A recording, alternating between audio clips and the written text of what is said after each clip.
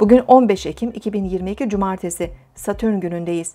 İkizler Burcu'nda ilerleyen ay sabah erken saatlerde Mars'la birleşecek ve Neptün'le yaptığı dik açının ardından 7.10'da boşluğa girecek. Güne değişken, kararsız ve huzursuz enerjilerle başlayabiliriz. Aynı anda birçok konuyla ilgilenebiliriz. Ancak herhangi bir konuya odaklanmakta da zorlanabiliriz. Bilgi akışı artabilir. Ancak yanıltıcı, spekülatif durumlarla da karşılaşabiliriz.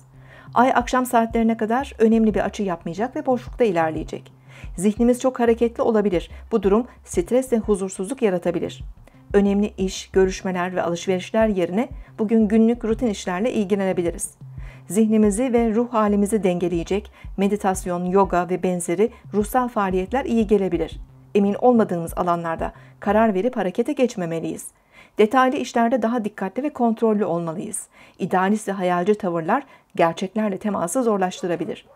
Ay akşam 19.10'da Yengeç burcuna geçecek. Akşam saatlerinden itibaren de değişen enerji dinamikleriyle birlikte daha hassas ve duygusal davranabiliriz.